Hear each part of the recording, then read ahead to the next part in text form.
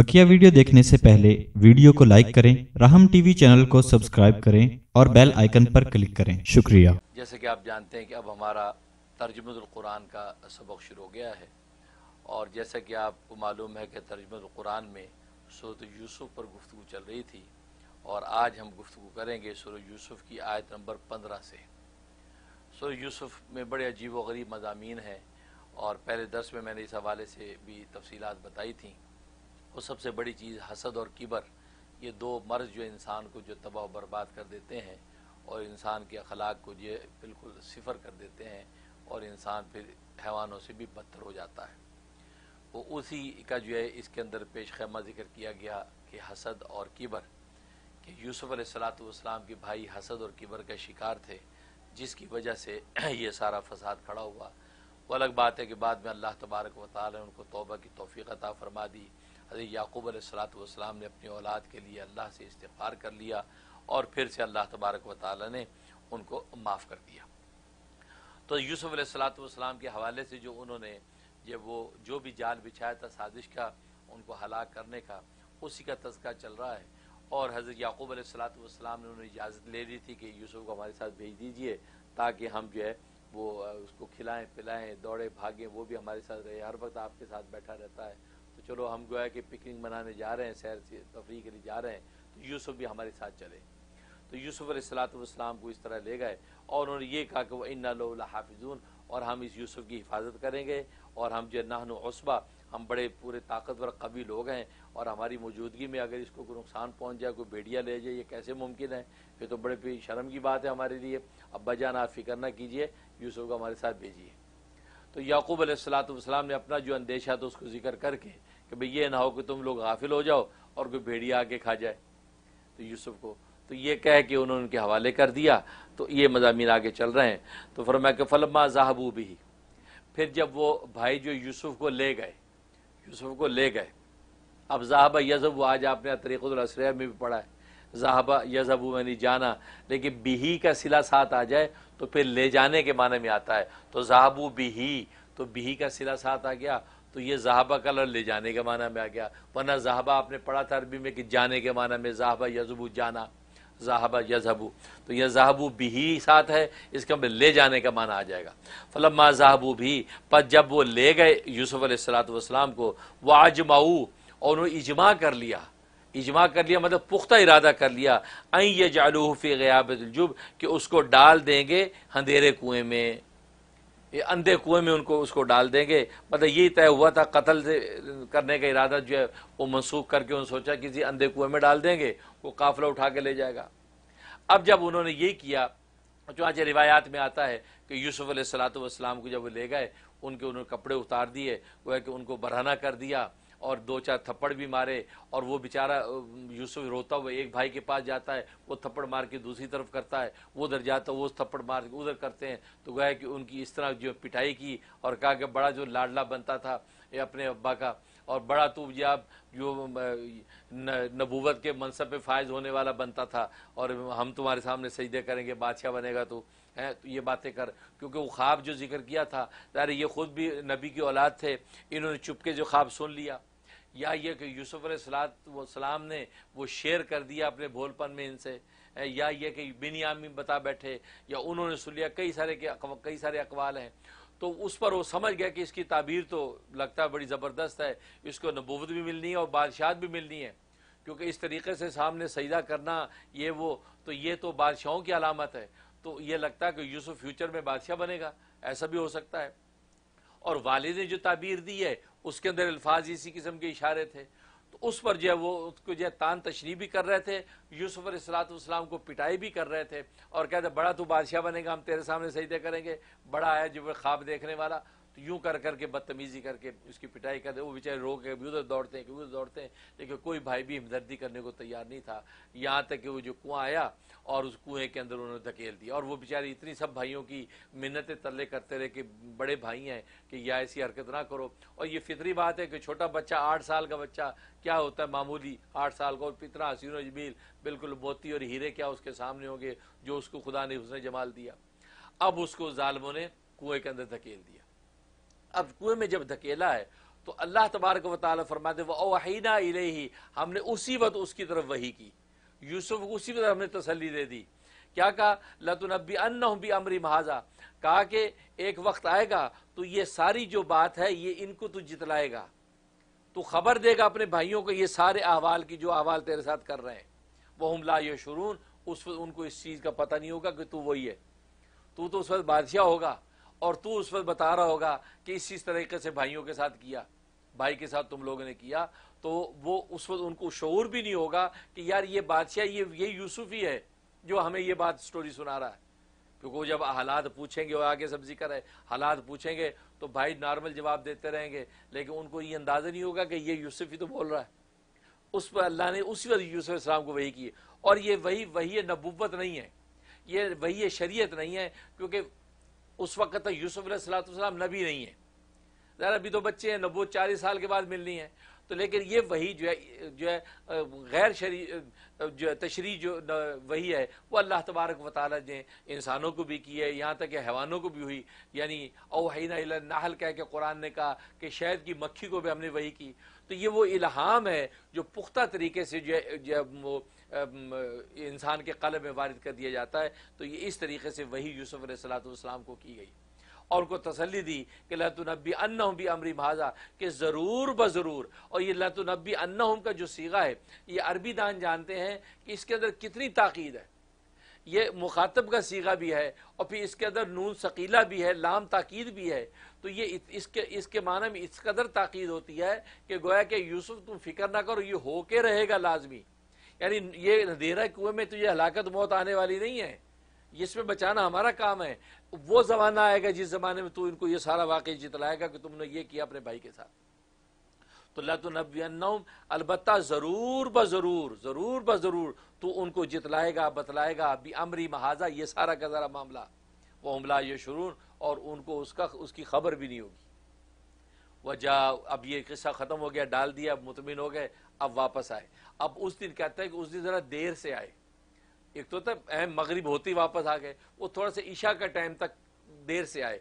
मकसद क्या था? कि स्टोरी जैनवन हो जाए, ताकि इस तरह आए कि जी हम तो बहुत तलाश बसियार करके ढूंढ ढूंढ के, ढूंढ ढूंढ के पागल हो गए, लेकिन यूसुफ कहीं नहीं मिला और ये भेड़िया उसको ले उड़ा। इसलिए कहा वो जाओ जाओ अबाउम ईशा आई वो ईशा के करीब है, यानी रात के शुरू में। ईशा इन ईशा के करीब में आए शुरू रात में। यबकून रोते हुए। रोते हुए आ रहे हैं। कहा, नानू ओसबा कहते थे, हम तो बड़े लंबे तरंगे हैं। जैसे पहले सबक में बताया था, बड़े लंबे चौड़े कवि लोग थे और रोते हुए आ रहे हैं। कालू बोले, या अबाना, ए हमारे अब्बा, इन्ना जहबना नस्तबिकू। हम जो वो आपस में दौड़ का मुकाबला कर रहे थे, भाग दौड़ कर रहे थे, हैं? तो ज़ाहिर है कि उस वक्त दौड़ भाग का मुकाबला भी हुआ करता था और बाद मुफसर ने लिखा, इससे मुराद कबड्डी है। ये कबड्डी का खेल जो उस वक्त काफ़ी मारूफ था तो कबड्डी खेल रहे थे। और कबड्डी में भाग दौड़ी होती है। उसको हाथ लगा के वो भागा, वो उसके पीछे भागा उसके पीछे भागा, ये इसमें। और ये माना भी हो सकता है कि मुतलकन दौड़ है, कि मुसाबका हो रहा है कि इधर से उधर दौड़ रहे, उधर से उधर दौड़ रहे। तो ज़्यादा जो है, इसके अंदर जो वो यही कह रहे हैं कि कबड्डी का खेल जो गोया के खेल रहे थे। वह तरकना यूसुफ। और हम छोड़ दिया यूसुफ को, इंदा मताइन अपने सामान के पास। यार छोटे बच्चों को सामान के पास बिठा देते हैं कि सारा बैग, वैग, ये, वो सारे रखे हुए कि तुम यहाँ बैठो, और हम ज़रा दौड़ भाग लगा के आते हैं। फ़ाकल और उसको भेड़िया खा गया। अब जो अंदेशा बाप ने ज़िक्र किया था, वही उसी की स्टोरी बनाई। फ़ाकल जेब, उसको भेड़िया खा गया। वमा अंत बिमोमिन और ए अब्बा, आप हमारा यकीन नहीं करेंगे। हमें पता आप यकीन नहीं मानेंगे कि भेड़िया उसको कैसे खा सकता है। हैं? वलकुन्ना सादिकीन अगर हम सच्चे क्यों ना हो? यानी पहले से, यानी कहते हैं ना, वो चोर की दाढ़ी में तिनका या दाल में काला काला वाली बात है। तो पहली क्योंकि दिल के अंदर जो खोट है तब पहले कहते हैं कि आप यकीन नहीं करेंगे कि हम सच बोल रहे हैं, लेकिन हुआ यह कि भेड़िया खा गया। इसलिए बाज ने लिखा कि इस उनवान के साथ कोई बात करे ना, उस बात पर शक करो कि जिस उनवान से ये बात की गई है क्योंकि कुरान बोल रहा है कि वमा अंत बिमो बिमो मिनना आप यकीन तो नहीं करेंगे मेरी बात पे, भले मैं सच ही बोल रहा हूँ, लेकिन यूँ यूँ यूँ बात है। अब इस उनवान से जो बंदा बात करे, इसका मतलब इसमें दाल में काला काला, इसकी कलाम में खोट है। और मैं उस बात पर ज़रूर शक करो, उस पर ज़रूर तहकीक करो कि ये बात सच कह रहे क्योंकि पहले से ये कहे जा रहा है। और यह आप यकीन नहीं करेंगे, लेकिन यार बात यूँ है। इसलिए फरमाया कि इस तरह का कोई कलाम करे तो उस कलाम पे शक करो और उसकी तहकीक करो कि बात वाकई सच है भी कि नहीं। बगैर उसके, इसके, इस कसम खाने पे, कहने पे नहीं छोड़ दो। खैर तो वमा अंत भी मोमिन और आप यकीन तो करेंगे नहीं हमारा वलोकुन्ना सादिकिन, अगर से हम सच्ची क्यों ना हो। वह जाओ वाला कमीसी बीद बिन कजिब। और ले आए वो उनके कुर्ते को झूठ मूठ खून लगा के। बेदमिन कभी झूठ मूठ खून लगा के। अब झूठ मूठ खून क्यों कहा? इसकी दो वजह एक इसलिए कहा कि वो असल में जो यूसुफ सलाम का खून ही नहीं था। इन्होंने वहीं पे एक बकरा जीवा किया बकरा हलाल के उस बकरे का खून लगा दिया। है? वो शिकार किया उसको खून लगा के ले आया कि ये। इसलिए झूठ कहा क्योंकि असल खून उसका है ही नहीं यूसुफ का। और दूसरा ये बेअली ये की कि उस, उस कुर्ते को फाड़ा नहीं। वो साबुत का साबुत सालम कुर्ता उठा के ले आए क्योंकि वो जो उतार जी लिया था कुर्ता उसी को खून लगा दिया कि ज़ाहिर है कि ये अजीब बात है कि मुजरिम आज भी दुनिया के अंदर मुजरिम क्यों पकड़े जाते हैं? ये अल्लाह तबारक वाली का अजीब निज़ाम है। वो किसी ना किसी जगह ऐसी घुंडी छोड़ जाता है कि खुद ही पकड़ा जाता है। पहले ज़माने के अंदर खुरे निकालते थे और आज भी चको देहातों में खुरे निकालने माहरीन मौजूद हैं। अब वो खुरे निकाल के पाँव से अंदाजे लगा के चोर के घर तक पहुँच जाते हैं कि चोर ने जाते वक्त इस चीज़ का भी लिहाज नहीं किया कि यार जाते अपना खुरा ही मिटाता जाए? कोई ऐसा फोड़ा लेता है जो उसके खुरे पे फेरता जाए, खुरे से पकड़े जाते हैं। बस वक्त उस जगह पे कोई ऐसी चीज़ फेंक जाता, गिर जाती है, वो चीज़। तो अल्लाह तबारक वाली दुनिया के अंदर भी किसी को बचने नहीं देते। कहीं ना कहीं से निकल आता है। वो अलग बात है कि हम अपनी तहकीक और तफ्तीश के नतीजे में बस सौकात उस घुंडी तक पहुँच नहीं पाते। वो कुलू जो है, हमें मिल नहीं पाता, वरना अल्लाह ने ज़रूर उसका कुलू छुड़वाया होता है। और यही वजह है कि जो तफ्तीश में लगे रहते हैं, और यहाँ अमरीका और यूरोप की दुनिया में आप देख लें, ये तो आदमी के मरने के बाद निकाल लेते कि ये मुजरिम था। लिहाजा उसकी कबर के ऊपर गोया कि फर्द जुर्म आयद की जा रही है कि यह आदमी मुजरिम, मरने के बाद। या बुढ़ापे के वक्त निकाला जा रहा है तो गोया कि चालीस चालीस साल, पचास पचास साल की ताकी के बाद वो कुलू निकला और वो पकड़ा गया। तो इसलिए कोई दुनिया में भी अल्लाह ऐसे कुलू छोड़, छुड़वा देते हैं चोर से। वो इनसे बेवकूफ़ी हुई। कुर्ता जो है, वो खून आलूद करके साबुत लेके आ गए। और याकूब अलैहिस्सलाम कुर्ते को देख रहे हैं और रो भी रहे हैं। तो कुर्ते को देख रहे हैं और फरमा रहे हैं कि ये कैसा समझदार और कैसा शफीक और रहीम भेड़िया था कि जिसने जो मेरे यूसुफ को तो चीर फाड़ दिया, लेकिन उसके कुर्ते को चीरा फाड़ा नहीं। उसे कुर्ते को चीरा फाड़ा नहीं। उस कुर्ते पर तो रहम खा गया, यूसुफ पे रहम नहीं खाया। ये कैसा रहम दिल भेड़िया था? बहरहाल जो कुछ भी है, फरमाया के फसफर जबीर। बस मैं अब सब्र ही करता हूँ, सब्र ही अच्छी चीज़ है। क्योंकि समझ गया कि ये चाल तुमने चल दी है। अब मैं बुढ़ा आदमी कहाँ को ढूंढता फिरूँगा। और ज़ाहिर है कि जो जिनसे अल्लाह के अल्लाह के यहाँ जिनके रबते होते हैं, वो फ़ौर खुदा के यहाँ दरख्वास्त डाल देते हैं। ज़्यादा भाग दौड़ करते नहीं। खुदा को कहते, या अल्लाह, तू जाने, तू ही अपने ये खैरियत के साथ, तू ये असबाब मुहैया करके चीज़ पहुँचा दे। अब उन्होंने अपने खुदा से लौ लगा ली। तो वो हुआ कि वो जाओ वाला कमीसी बिदा मिन कजिब, वो ले आए यूसुफ की कमीज, बिदा मिन कजिब, झूठ मूठ खून लगा के। अब देखो, कमीज का कैसा किस्सा है कि यहाँ भी कमीज आई जिसने आपको गम में डाला, कि यूसुफ के बगैर वो कमीज आपके पास आपको गम में डाल दिया और आप और रो रहे हैं, क्योंकि कमीज को देख के और रोना आया ना? अब आपकी किसी महबूब की कमीज आ जाए महबूब आए तो आप कमीज को देख देख के रोते हैं। तो कमीज को देख के रो रहे हैं। तो आगे जाके फिर वही नज़ारा आएगा कि यूसुफ सलाम ने मिस्र से कमीज ही भेजी अपनी, कि मेरे बाप को कमीज दो, कमीज आँखों को लगाएगा, उसकी आँखें बीना बीना हो जाएगी, बसीर हो जाएगी और कमीज को देख के खुश हो जाएगा। चाहे वही हुआ कुरान ने कहा कमीज मिसर से चली है उसकी खुशबू याकूब को पहले पहुँच गई।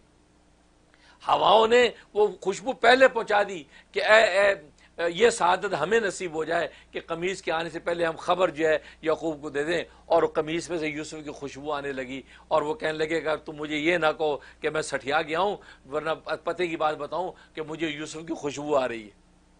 क्योंकि अब इतना तवील अरसा गुजर गया कि उस वक्त तो कि जब वो कब्रों में जाके बंदा हड्डियाँ भी हो जाए तो उस वक्त ज़िंदा की खबर दे रहे हैं। तो बंदा लोग कह सकते हैं, आप सठिया गए हैं। इसलिए पहले उन्होंने कहा, मुझे आप ये ना कहें कि मैं सठिया गया हूँ, लेकिन हकीकत यह है कि मुझे यूसुफ की खुशबू आ रही है, वो कमीज़ की खुशबू। तो देखो, कमीज़ कैसी अहम चीज़ निकली कि यहाँ डाला तो ये बिदा मिन का कमीज़ पेश की, जिससे आप गम में पड़ गए, वहाँ कमीज़ की खुशबू है तो आप खुशी और मुसरत में आ गए, आपको उम्मीद लगे कि यूसुफ मुझे मिल जाएगा। तो अल्लाह का अजीब निज़ाम है। तो फरमा का वजह वाला कमीसी। कहते वो कमीस लेके आ गए यूसुफ की, बेदम इनका जिप झूठ मूठ खून लगा के उस पर जो है, याकूब अलैहिस्सलाम ने जब देखा, काला, बल सब वलतलकुम अनफुसुकुम अमरा। फरमाया कि नहीं, ये कुछ भी नहीं है, सब ये तुमने झूठ मूठ बना दिया बल्कि तुम्हारे नफ्सों ने तुम्हें एक बात घड़ने पर आमादा कर दिया। ये तुम्हारे नफ्सों ने एक बात घड़ ली है, कि चाल घड़ ली है, बस और क्या हो सकता है? ये तुम्हारी चाल है फसब्र जबील, बस सब्र ही अच्छी चीज़ है। मैं सब्र ही कर लेता हूँ कि सब्र के अलावा और कुछ भी हो सकता। वल्लामुस्तान वाला मा तसिफून। और मैं अल्लाह को मददगार ठहराता हूँ, उस पर जो तुम बोलते हो। जो तुम बोल रहे हो कि ये भेड़िया खा गया, ये हो गया, हम उधर दौड़े, इधर भागे, हम ढूंढ ढूंढ के आगे यूसुफ मिला नहीं भेड़िया, जो आपने बात कही। अच्छा कितने नालायक आगे का? अब्बा जान, देखा? आपके मुँह से जो निकला, वही हो गया। यानी ये भी धोखा देने का एक तरीका। अब्बा देखे आपके मुँह से क्या निकला तो सुबह? वो कि भेड़िया ना खा जाए। देखे, आप देखो, पैगंबर हैं, अल्लाह के मुकर्रम है, आपके मुँह से निकला, वही हो गया। अब बताओ, वो भेड़िया ही खा गया।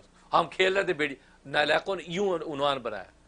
यानी ये होता ना कि अपनी गर्दन से उठा के अगले की गर्दन पे डालना, कि जी आपने बोल दिया था, आप ना बोला करें। आप अल्लाह के बंदे, आपने जो बोला, वही हो गया। यूँ करके स्टोरी दी। तो याकूब अलैहिस्सलाम समझ गए कि बस ये जो तुम बोल रहे हो वल्लास्तान वाला माता सिवून मैं अल्लाह ही को मददगार ठहराता हूँ, उस पर जो तुम बोलते हो। अब अल्लाह ही फैसला करेगा, तुम सच बोल रहे हो कि झूठ बोल रहे हो। अब उसके बाद क्या हुआ? इधर क्या मामला हुआ? वह जात सयारतुन, एक काफिला निकला। सारे काफिले गुजरते उस जगह काफिला आया।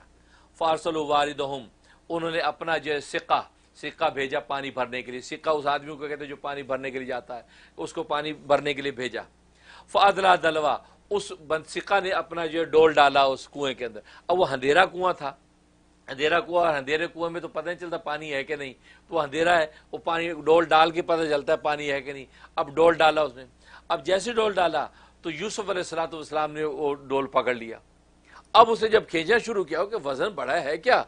जब खींचा ऊपर आया तो देखा जो बोला, काला या बुशरा, हाजा गुलाम। वो बोल उठा, या बुशरा, अरे खुशखबरी हो, हाजा गुलाम, ये तो लड़का निकल आया। ये तो गुलाम, यानी ये लड़का जो है, ये निकल आया भाई, ये खुशी की बात। तो ये उसमें गोया कि ये बशार दे दी, वो असर रूह बिजा। और उन्होंने अपने सामान तजारत में छुपा लिया। उसको भी सामान तजारत बना लिया। कि इतना खूबसूरत मोतियों जैसा बच्चा, ये तो बड़ा महँगा बिकेगा। ज़ाहिर उस वक्त यही होता था कि ग़ुलाम बेचे जाते थे, ख़रीदे जाते थे तो कहा कि इसको तो ले चलते हैं। ये मिस्र जैसे मुतमदन जो है, तहजीब याफ्ता जो मुल्क है, वहाँ बेचेंगे और महँगा बिकेगा। ये कहा, या बुशरा हाजा ग़ुलाम। इसलिए यहाँ पर एक बड़ी नुक्ते की बात लिखी है ओलमा ने, कि बच्ची का नाम अगर बुशरा रख दो, बुशरा रख दो तो उसके बाद बेटा पैदा होता है। अगर कहते बेटा पैदा हो तो बुशरा अगर लड़की का नाम रख दिया जाए तो बुशरा के बाद अब अगर जो हमल होगा, वो बेटा होगा। क्योंकि इस कुरान के अंदर अल्लाह ने ये उनवान रखा या बुशरा हाजा गुलाम। बुशरा पहले आया और बुशरा के बाद हाजा गुलाम ये लड़का है। तो बुशरा नाम रखने वाली लड़की का बाद में आने वाला जो हमल जो होगा, उसका भाई यानी उसका भाई होगा, लड़का पैदा होगा। तो लिहाजा लोगों ने इसका तजर्बा किया। और ये कुरान करीम के इस उनवान के तहत जब बुज़ुर्गों ने तजर्बा किया, बिल्कुल दुरुस्त निकला कि बुशरा नाम लड़की का रख दिया जाए तो बाद में जो बेटा लड़का होता है, वो बेटा पैदा होता है। तो इसलिए कहा, या बुशरा आज और यहाँ गुलाम से मुराद लड़का है। गुलाम से मुराद ये वो असलाही गुलाम मुराद नहीं, गुलाम और लौंडी, ये वो मुराद नहीं है। वह असर बिज़ा उन्होंने उसको अपने माल तजारत के अंदर छुपा लिया। यानी उन्होंने कहा कि ये माल तजारत वो अल्लाह या मलून और अल्लाह खूब जान रहा था जो वो कर रहे थे। यानी वो ताजिर लोग माल छुपा रहे हैं, ये वो यूसुफ को निकाल दिया, वो समझे, कोई देख नहीं रहा। अल्लाह कहता मैं सब देख रहा हूँ। अल्लाह सब देख रहा क्योंकि अल्लाह ने पहले फैसला कर दिया था, जो यूसुफ को वही कर दी थी, कि वक्त आएगा कि तो भाइयों को उनकी हरकत का कोई जितलाएगा, देखो तुमने ये की थी भाई के साथ। और इधर ये सारा स्टोरी कर रहे हैं। उसके बाद शराहू बी समन बख्सिन दराहिम मादूदा कहते उसको उन्होंने बेच डाला बी समन बख्सिन बहुत कम कीमत पर। दराहिम मादूदा, बहुत ये चंद टकों की वस अब ये किसकी बात हो रही है? ये उसके भाइयों की बात हो रही है। हुआ ये कि भाइयों ने ड्यूटी लगा रखी थी कि यार यहाँ इस कुएँ के दाएँ बाएँ बंदा घूमता रहे, रोज किसी भाई की ड्यूटी थी। ताकि अगर कोई काफिला आए और उसको ले तो फिर हम उसके साथ सौदा वौदा करके उसको क्या, उसको भेज डालेंगे उसको, कि ले जाओ भाई। अब ये भाई ड्यूटियाँ लगी हुई थी आके देख रहे थे एक काफिला आ गया। अब काफिला उन्होंने ये निकाला तो यूसुफ निकल आया वो भाई पहुँच गए। कहा कि भाई ये, ये हमारा है भाई ये क्या? कह क्या बात कर रहे भी हमारा है। यार ये हमारा है लेकिन हम वैसी तांगे से हम इसको बेचना चाहते हैं तुमने खरीदना बात करो। तो उन तो काफिले वालों का यार कितने का? तो तफसीरों में आता है कि इन्होंने कितने का बेचा? अठारह दिरम का। अठारह दिरम अब अठारह दिन की कोई हैसियत है? जिस बच्चे को वो हज़ारों में बेचने को सोच रहे हैं, हज़ारों दिनार में वो अठारह दिरम का बेच रहे हैं। इसलिए कुरान ने कहा कि वह शराब भी समन इन बख्सिन, इन जालमों ने, इन भाइयों ने बेच दिया उसको बिल्कुल कम कीमत पर। दराहिमा मादूदा चंद टके, चंद दिरम और वो कितने थे? लिखा अठारह दिरम इसलिए कहते चोरी का जो माल होता है, लोग सस्ता बेचते हैं। क्योंकि वो सोचते हैं कि हज़ार की अब माल है या सौ का बिक जाए पैसे तो आए फटाफट, ये ना पकड़ा जाऊँ। इन्होंने ये सोचा कि यार भाव तो के अंदर काम का बराज ही ना खुल जाए। हाँ जी, कितने अठारह दिनम तो निकलो यार तुम। वो तो खुश हो गया कि यार ये इतना सस्ता मिल गया। लेकिन कुरान ने इनकी इस बदबख्ती को बदबख्ती को भी ज़िक्र किया कि ालिमों ने यूसुफ के साथ इतनी ज्यादती की, उसकी कीमत भी क्या लगाई? अठारह दिरम इसलिए कहा, कहते वकान मेरे जाहिदीन कहते वो बड़े बेजार थे। यानी यूसुफ से इतने बेजार थे कि अठारह दिरम में बेच के जान छुड़ाई, इतने जारे यहाँ जाहिद जो है, बेजार के माना में है कि बड़े बेजार थे। जाहिद वो होता है ना जिसको दुनिया से कोई मतलब नहीं है। लेकिन वो जोहद तो एक किस्म का रूहानी वसफ़ है। ये वो रूहानी वसफ़ मुराद नहीं है। वह कान मिन जाहिदीन मतलब ये मालोदौल से इतने बेपरवाह थे, हैं, इतने बेजार थे, जबकि सुबह शाम मालोदौल कमाने में ज़राते करते फिरते हैं। इसका मतलब ये यूसुफ से इनको चिड़ थी, उन्हें उसी को घटिया करार देना मकसूद था, इसलिए इन जालमों ने यह फैसला किया कि अठारह दिन में बेचा। अब उसके बाद वो काफिला लेके पहुँच गए। अब वो काफिले वालों ने वहाँ मिस्र के अंदर बाज़ार लगाया और वहाँ यूसुफ सलाम को ऐसे जरक बर खूबसूरत लिबासों में स्टेज के ऊपर बिठा दिया और उसकी बोली लगने लग गई। बोली लगने लगी कि कौन है खरीदने वाला? अब एक आ रहा है, दूसरा आ रहा है। यहाँ तक कि जनाब लोगों ने खजाने मुँह खोल दिए, लेकिन यूसुफ की कीमत पूरी नहीं हो रही।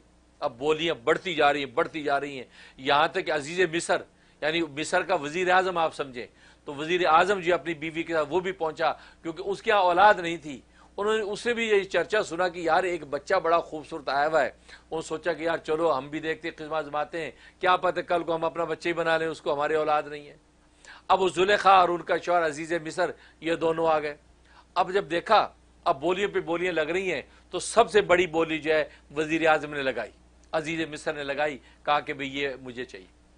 तो लिहाजा उसके बाद कोई भी किसी की मजाल नहीं थी, इतनी कीमत लगाता, वो उन्होंने उसको बेच दी तो यूसुफ अलैहिस्सलाम को अज़ीज़ मिसर और जुलेखा लेके घर आ गई, और उन्होंने आपस में ये सोचा कि ये तो बच्चा जो है, बहुत ही खूबसूरत, प्यारा बच्चा है, इतना डिसेंट है। और ज़ाहिर है कि जिसके माथे पे नूर नबूवत हो, है, और वो जो है, पड़पोता हो नबी का, पोता हो नबी का, बेटा हो नबी का, है, तीन नस्बतों से इसे नबी पाक सल्लल्लाहु अलैहि वसल्लम खुद फरमाते हैं कि सबसे नफीस और बेहतरीन जो है, नसब जो है, यूसुफ सलाम का है कि खुद भी नबी है, बाप भी नबी है, दादा भी नबी है, परदादा भी नबी है। और छोटे मोटे नबी नहीं है जो कदर है कहते परदादा खलील्ला है और बाप जो है वो उसके इसहाक जो है वो सफ़ील्ला है उसके बाद जो है याकूब जो है नबील्ला है हैं उसके बाद यूसुफ खुद भी हसीनुल्लाह है कि कितनी नस्बतें क्योंकि नबूवती नबूवत के नूर तरफ़ फैले हुए हैं फरमाया कि सबसे नजीब और हसीन नस्बत जो है मेरे भाई यूसुफ की है। ऐसी नस्बत का कोई नबी नहीं ऐसी नस्बतें। तो वो फरमाया अब वो, सारा नज़र आ रहा है इतना खूब बच्चा।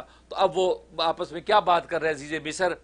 वकाल शराब मिसरा लिमरा थी कहा उस आदमी ने जिसने खरीदा यूसुफ सलाम को मिसर में। उस आदमी ने, अज़ीज़ मिसर ने किसको कहा? लिमरा थी अपनी बीवी को कहा, यानी जुलेखा।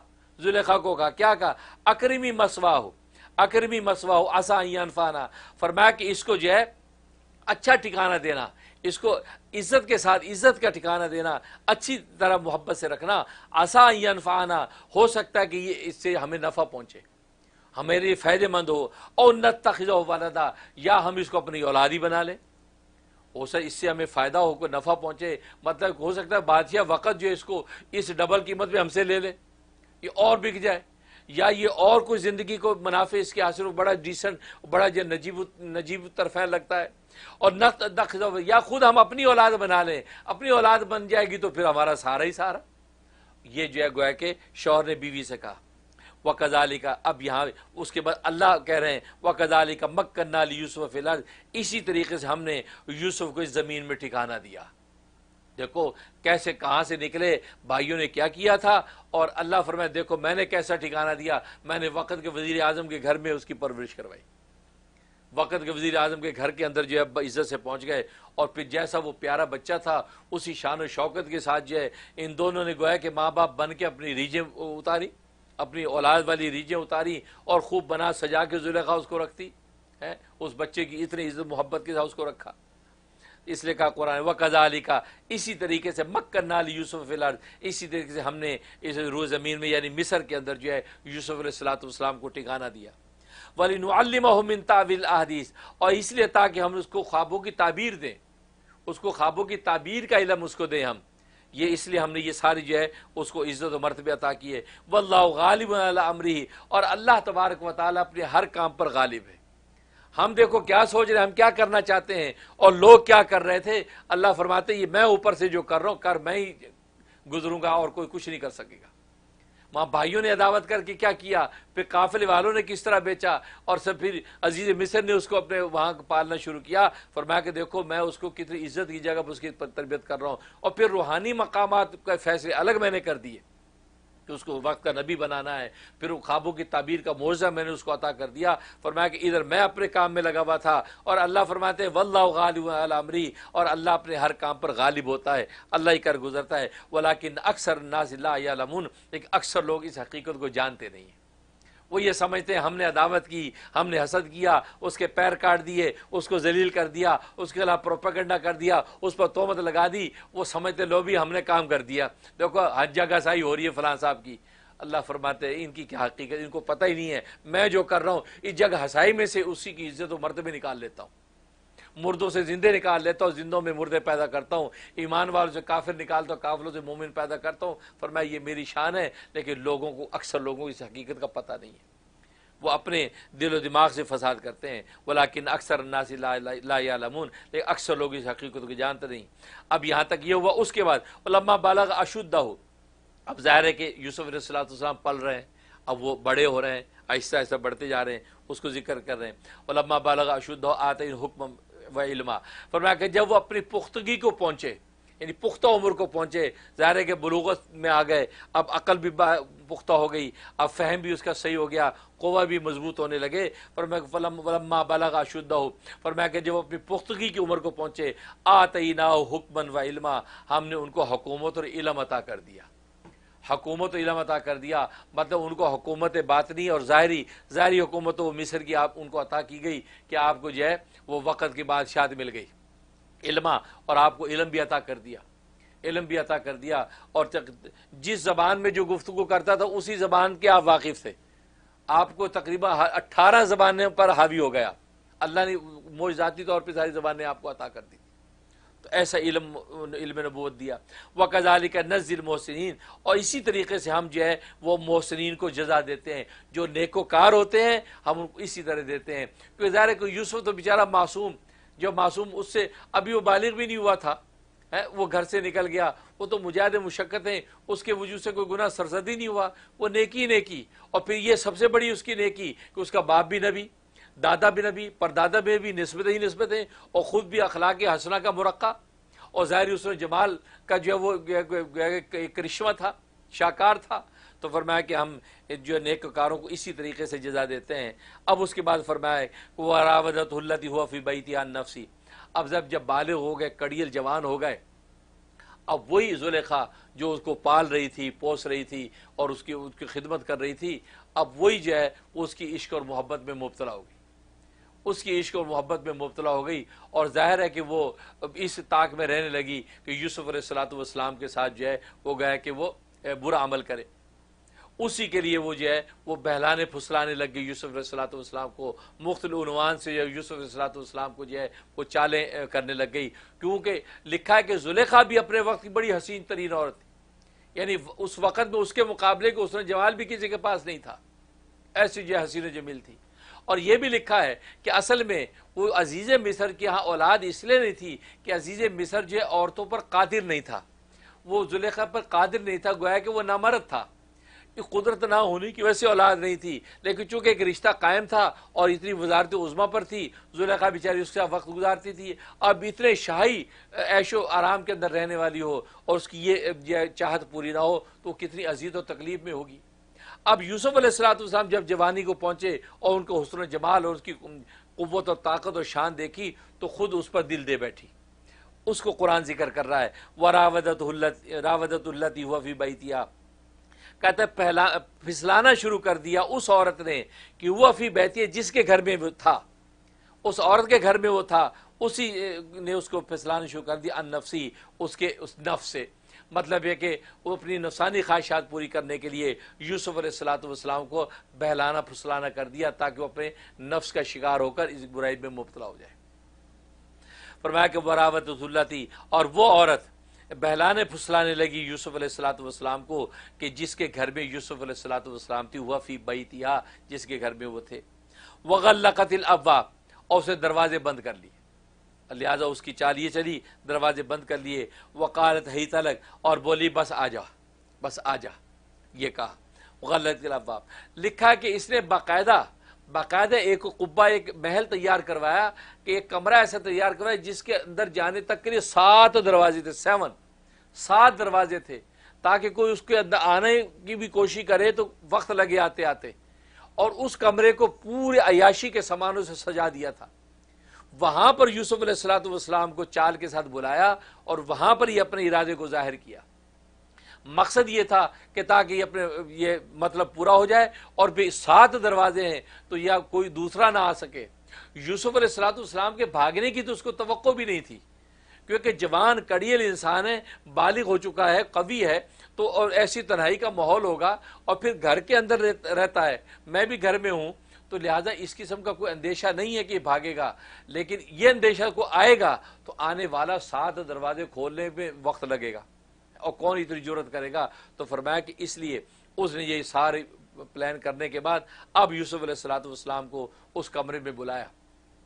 और वहाँ पर गल्लकत अबाब वो सातों के साथ दरवाजे बंद कर दिए। वह कालत है तलक। अब बोले कि आजा। काला, अब यूसुफ सलाम जवाब दे रहे हैं, काला, माज अल्लाह। मैं अल्लाह की पनाह लेता हूँ। मैं अल्लाह की पनाह में आता हूँ। ये जो तू मुझे दावत दे रही है जिना की, मैं अल्लाह की पनाह में आता हूँ। इन रबी आसन मसवाया। इन रबी अब देखो, यूसुफ सलाम ने यहाँ चार जवाब दिए चार। पहला जवाब दिया, माज अल्लाह। मैं अल्लाह की पनाह में आता हूँ। इसे लिखा मुफसरी ने गुनाह से बचने के लिए सबसे पहले तो अल्लाह की पनाह में अपने आप को दो। बाद में अगला स्टेप उठाओ। बाद में आप अगला कलाम करें और कदम उठाएँ। सबसे पहले तो कोई अल्लाह, मैं अपने आप को तेरे पनाह में देता हूँ। औज़बिल्लिन शैतान रजीम। ए अल्लाह, मुझे इस गुनाह से बचा। सबसे पहले खुदा के, क्यों? कि जब खुदा की पनाह में आ जाएगा तो फिर खुदा की पनाह से बढ़कर कोई पनाह नहीं है। अब अल्लाह कैसे आपको बचाएगा, आप सोच सकते। और ये यूसुफ ने कमाल किया था कि अपने आप को अल्लाह की पनाह में दिया था। तभी तो देखो, बचने का रास्ते खुदा ने कैसे निकाले हैं। वरना रास्ता बचने का था नहीं। कैसे निकाला? उसके बाद दूसरा जवाब है इन्ना रब्बी। अब इन्ना और रब्बी से मुराद, अल्लाह मुराद नहीं है, ये अज़ीज़ मिसर मुराद है। कि इन्ना और रब्बी, के जुलेखा को कह रहे कि तेरा जो शौहर है, इन्ना और रब्बी वो मेरा रब है। रब से मुराद क्या? मेरा तरबियत करने वाला है, और मुझे सुबह शाम उसे खाना, पीना, रहना, ठिकाना दिया है। क्योंकि जो ये सारे इसबाब इसबाब ज़िंदगी देता, उसको रब कहते हैं अरबी में। है? मुतरका रब कहा जाए तो वो अल्लाह मुराद होते हैं। लेकिन नस्बत के साथ कहें तो उससे मुराद कोई भी मालिक और आका हो सकता है। तो इन्ना और रबी मेरा रब है मतलब है कि तेरा शौर तो मेरा रब है। मतलब मेरा तरबियत करने वाला, मेरा मालिक और आका है, जो उस खाना, पीना, रहना, पहनना, ओढ़ना, ये शहजादों की तरह उसने रखा हुआ मुझे। मैं उसकी बीवी के साथ ऐसा करूँ? तो उसकी हरम है? नहीं नहीं, ये नहीं हो सकता। उसके बाद तीसरा जवाब दिया आसन मसवाया, उससे मुझे कितना अच्छा ठिकाना दे रखा है। अच्छा ठिकाना दे रखा है। मतलब मेरा आका है और आका की बीवी के साथ ऐसा करना यह भी बदबख्ती है, पस्ती है। और फिर सिर्फ़ आका ही नहीं है, एक तो आका जालिम हो, जालिम नहीं, आसना मसवाया, उसने तो ऐसा ठिकाना मुझे दे रखा है कि मैं कहा किनान के कुएँ से उठकर आया और मैं यहाँ मिस्र के बादशाह के अंदर रह रहा हूँ। अब मैं उस मोहसिन उस मोहसिन की बीवी के साथ ऐसा करूँ? एक तो अल्लाह की पनाह लेता हूँ कि अल्लाह का अमर तोड़ू। दूसरा यह कि वो मेरा जो आका है मैं आका की बीवी से ऐसा करूँ। और तीसरा कि वो मेरा मोहसिन भी है मैं मोहसिन के एहसान का ये बदला दूँ कि उसकी बीवी के, के साथ मैं ऐसा ऐसा करूँ। और चौथा जवाब दिया इन्नलायुफलिमून फरमाया कि जालिम लोग फला नहीं पाते। ये बहुत बड़ा जुल्म है कि जो आका अपने घर में उससे अपनी बीवी के साथ मुझे रखा हुआ है और बच्चों की तरह मुझे पाला गया तो मैं आज उसी के अहतमाद को तोड़ूं। और आज मैं उसी की बीवी के साथ ऐसा करूँ तो क्या मेरा आका इसको पसंद करेगा? इसका मतलब ये मेरी तरफ़ से इतना बड़ा जुल्म होगा और ये जुल्म जो है, ये जुल्म करने वाले कभी फलाह पाते नहीं हैं। तो मैं तो ज़िंदगी में फलाह चाहता हूँ, कामयाबियाँ चाहता हूँ, जिसके लिए आज तक मुशक्क़त बर्दाश्त करता आता हूँ। और जब मैं ये हरकत करके ालमों में लिखा जाऊँ और ालमों में लिखा गया तो फिर मुझे दुनिया आखिर में कोई फलाह नहीं। तो ये चार जवाब यूसुफ सलाम ने दिए हैं कि अल्लाह की पनाह में गए और उसके आका का एहसान, फिर मोहसिन और फिर ये फरमा के ालमों को फला नहीं है। ये चार जवाब दिए। उसके बाद कुरान ने कहा, वलकद हमद भी और इधर सूरत हाल ये थी कि जुलेखा अपना इरादा पुख्ता कर चुकी थी। वालकद हमद भी और अलबत् ताकीक पुख्ता कर लिया था जुलेखा ने अपना इरादा। ये यूसुफ सलाम की तकरीर का उन पर कोई असर नहीं है। यार उसके दिमाग में पुख्ता इरादा था कि मुझे ये करना है जिसके लिए इतने इसबाब उसने मुहैया किए। बाकायदा एक ऐसा कुब्बा बनाए जिसके सात दरवाजे। तो वो कैसे हो सकता है कि वो इस, इस तकरीर और वाज से बाज आ जाए? इसमें कुरान का वालकद हमद भी और अलबत् ताकीक इरादा पुख्ता कर चुकी थी जुलेखा। यूसुफ़लाम के साथ ऐसा करने का वह हम्मा बिहा वह हम्मा बिहा और यूसुफ सलाम भी उस औरत का ख्याल ले आते। उनके दिल में भी इरादा पुख्ता हो जाता। लौला अर्रा बुरहान रबी अगर वो अपने रब का बुरहान ना देखते, अपने रब का बुरहान ना देखते तो उनका भी इरादा पुख्ता हो जाता। उनका इरादा भी पुख्ता हो जाता, लेकिन उन्होंने अल्लाह का बुरहान देख लिया। जब अल्लाह का बुरहान देखा तो जो इरादा, जो तभी तौर पे भी चाहत अगर इंसान के अंदर आई, वो तभी चाहत भी खत्म हो गई। तभी चाहत भी खत्म हो गई क्योंकि वहाँ पर जो है जुले खान ने तो तभी चाहत के साथ साथ अपनी अकली चाहत, अपनी अकली चाहत को भी सामने रखा था। लेकिन यूसुफ सलाम में तभी चाहत तभी चाहत पैदा हो जाना ये बुरा नहीं है। बल्कि हज़रत हकीम थानवी रहमत फरमाते हैं, तभी चाहत का पैदा होना तो यूसुफ सलाम के सेहतमंद, ताकतवर सैल सैल हवास मर्द होने की अलामत है। और ये पैगंबर के लिए तो ये और अजमत की बात है। और उसकी बड़ी अच्छी मिसाल दी हज़रत ने बयान कुरान में, फरमाया कि जैसे रोजेदार रोज़े की हालत में तभी तभी तौर पर उसकी चाहत होती है कि यार मैं ये खा लूँ, मैं ये पी लूँ, लेकिन वो खाता पीता नहीं है इस रुकने पर ही अल्लाह उसको नवाज़ देते हैं। तो तभी चाहत पैदा होने से रोज़ा टूटता नहीं है। तो तभी तौर पर इंसानी आवाज़ के नतीजे में एक ऐसा ख्याल सा पैदा हो जाना, ये तो मुमकिन है। वो ख्याल जो है यूसुफ सलाम का, वो पैदा हो जाता अगर जो है वो अल्लाह का बुरहान ना देखते। अल्लाह का बुरहान देखा तो वो तभी चाहत का रुझान भी पैदा नहीं हुआ। मतलब ये यूसुफ सलाम की सूरत हाल बयान कर रहे और वहाँ हालत ये थी, वो तभी के साथ अकली तौर पर भी सोच चुकी थी कि मुझे ये गुना करना है। इसलिए फरमाया और बुरहान क्या था? एक रिवायत में आता है कि याकूब अलैहिस्सलाम का सरापा अल्लाह ने दिखाया याकूब अलैहिस्सलाम का सरापा सामने आया और उन्होंने मुँह में उंगलियाँ में दी, दांतों में उंगली दी। हुई ये क्या कर रहा है? मतलब ये तो ये देखा तो उस पर एकदम बाप की सरापा देख के घबरा गए। तो वो जो कैफियत थी, ख़त्म हो गई। ऐसा अंदेशा पैदा नहीं हुआ। और दूसरा लिखा है कि आय सामने आ गई, ला तकर्जिना जिना के करीब ना जाओ। ला तक वो जिना की आय सामने आ गई। तो ये आया आय सामने तो वो उसको देख के आपको ख्याल आया तो वो अपने आप को उन्होंने संभाला। और एक रिवायत में कि हज़रत जबर सलातम हज़रत जबर सलातम सामने आए और उन्होंने फरमाया कि ये सादकीन के अंदर अगर तुमने ऐसा कर लिया तो फिर सादकीन के नाम में से तुम्हारा नाम मिटा दिया जाएगा। अल्लाह ने तुम्हारा नाम सादकीन में लिखा है। इस पैगाम से आप जो है वो इस, ये, इस कैफियत में नहीं आए। तो गया कि ये उस बुरहान को बताया। तो और भी बहुत से अकवाल हैं, लेकिन यह कि बुरहान ज़ाहिर हुआ तो फिर ये यूसुफ के दिल में ख्याल नहीं आया। वह कजालिका नसरफ़ अनहू, इसी तरीके से हमने जो हमने अनु उनको बचा लिया। यानी यूसुफ को बचा दिया। असू सू से। सू से मुराद गुनाह सगीरा। अलफाशा फाशा से वो गुनाह कबीरा। हमने गुनाह सगीरा, कबीरा दोनों से बचा लिया। इन इबाद मुखलसिन। बेशक ये यूसुफ हमारे मुखलिस बंदों में से हैं। हमारे मुखलिस बंदों में से हैं। तो इसको ज़िक्र किया। उसके बाद वस्तबकल बाप कह के आगे जो उसकी तफसीर बयान कर रहे हैं तो इसको इंशाल्लाह आइंदा तफसील से बयान करेंगे। तो यहाँ तक ये इस हकीकत को बता दिया कि मोहसिन के एहसान को माना जाए और गुनाह से बचने के लिए अल्लाह तबारक व ताली के स्पुर्द इंसान कर दे। इसलिए एक हदीस में बड़ी खूबसूरत दुआ आती है। बहुत खूबसूरत दुआ आती है कि अल्लाह वाक़ता का वाक़त वलीद। अल्लाह वाक़ता का वाक़त ए अल्लाह मुझे यूँ बचा गुनाहों से जैसे तो मासूम बच्चों को बचाया जाता है। जैसे मासूम बच्चों को माँ हर बुरी जगह से बचाती है और गोद में लेके फिरती है। पर मैं बिल्कुल इसी तरीके से, मैं भी एक नाबालिग मासूम ना समझ बच्चा हूँ। मुझे नहीं पता कौन से गुनाह में हाथ डाल बैठूँ। या अल्लाह मुझे इस मासूम बच्चे की तरह बचा। तो फरमाया कि अगर सुबह को ये दुआ पढ़ के इंसान पढ़े, बुज़ुर्गों लिखा रोज़ाना, ये रोज़ाना ये दुआ सुबह को ग्यारह मरतबे कम कम से कम ग्यारह मरतबे पढ़ के निकल जाए तो अल्लाह तबारक वाली सार दिन उसको हर तरह के गुनाह से बचाते हैं। रात को पढ़ के सो जाए ग्यारह मरतबा तो अल्लाह रात भर में हर तरह के गुनाह से बचाते हैं, क्योंकि इसमें बंदे ने अपने आप को अल्लाह के सपुर्द कर दिया। तो यहाँ यूसुफ सलाम ने भी माज अल्लाह कह के अल्लाह के सपुर्द अपने आप को किया तो आगे फिर आएगा कि अल्लाह ने कैसे यूसुफ को बचाया।